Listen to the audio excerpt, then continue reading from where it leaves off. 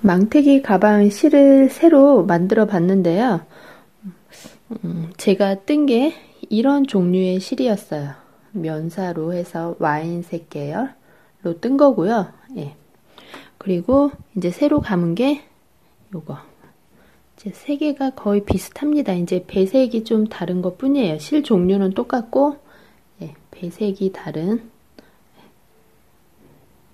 이게 지금 이렇게 특수사가 여러 개가 들어가서 되게 멋스럽습니다. 저게 이제 글라데이션이 들어가 있는 거라서 예, 좀 멋스러운 색상이고요.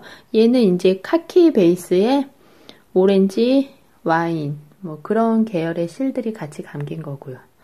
얘는 어, 와인 베이스에 붉은색 계열을 감아서 좀 이렇게 밝은 느낌, 예, 좀 산뜻한 색상이 좋다 하시는 분들은 예, 얘가 좀 그런 것 같아요.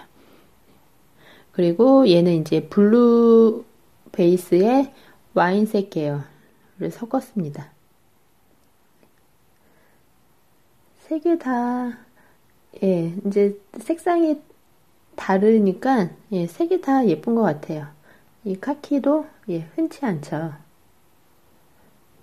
이게 그냥 딱, 뭐, 파란색에 와인색, 카키색에 뭐 오렌지색 이렇게만 들어가면 좀 심심하거든요. 이런 실은 이런 특수사가 들어가야 좀 힘도 받고 좋습니다.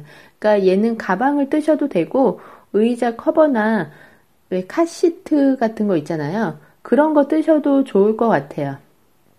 예. 왜냐면 얘 자체가 좀 힘이 있어서 안, 얘를 만약에 가방을 뜨신다고 하면 제가 볼 때는 안감을 굳이 안 넣어도 되지 않을까 싶어요. 그러니까 이런 특수사가 많이 들어가면 예, 좀 힘을 받거든요. 그러니까 이 가방도 예, 굳이 저 같은 경우는 그냥 안감 안 넣거든요. 예, 그러니까 이 실이랑 비슷한 것 같아요. 그러니까 이렇게 좀 힘이 있는 실은 예, 늘어짐도 예, 많이 없고 가방이나 뭐 그런 종류, 뭐 의자 커버, 예, 이런 종류 뜨기에 좋을 것 같습니다. 그리고 제가 떠보니까 이거보다는 얘가 조금 더 이렇게 크게 나오거든요. 그러니까 단수는 뜨시면서 조절을 해서 가방 크기를 예, 조절을 하시면 됩니다. 제가 만약에 가방을 20단을 떴다고 해서 꼭 20단을 안 뜨셔도 돼요. 얘가 이제 약간 크게 나오니까 똑같이 20단을 떠도 얘가 가방 크기가 더 크겠죠.